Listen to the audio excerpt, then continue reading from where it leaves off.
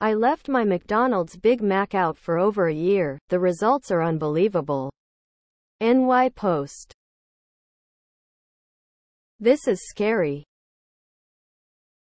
Below are your comments. That's basically all food now, not just a Big Mac. I'm over 50 and I remember when bread would go bad after a few days, now it can sit for a few weeks.